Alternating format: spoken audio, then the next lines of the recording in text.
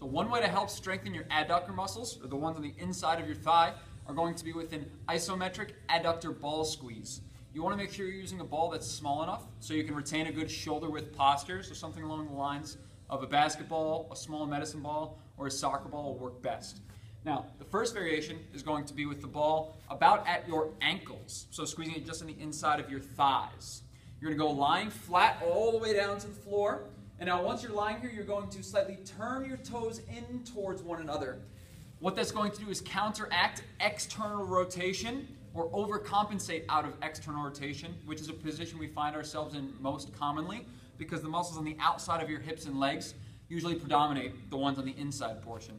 So once you're lying on your backside here, toes pointed in towards one another, your goal is to try to squeeze the ball as well as squeezing the inside of your thighs towards one another and you're going to hold that squeeze for 10 long seconds or five big cycles of inhale and exhale breath.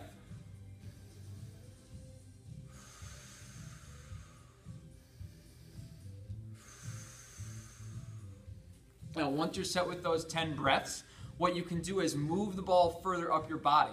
So, taking the ball now from between my thighs, or I'm sorry, between my ankles, sliding up now to be just on the inside of my knees.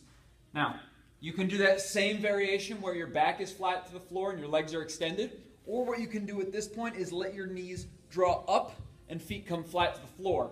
If you choose here, mechanism is still going to be the same. You're just going to be able to get a little bit more force pressed into the ball. So from here, what I'm going to do is make sure my back is flat. So I'm going to try and tuck my belly button towards my face.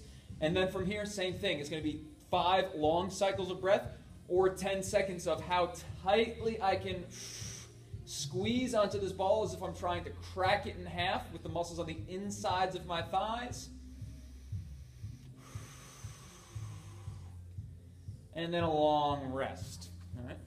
Now the third variation here, if those first two are comfortable, is going to be with the ball in that same exact position. We're now going to add in a little bit more of an anterior core engagement.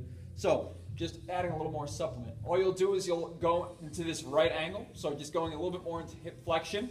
And now your goal is to point your toes up towards you, so you remain active. And again, that gentle rotation in of your legs. So avoiding external rotation. So once I'm here, my toes are going to point slightly in towards one another.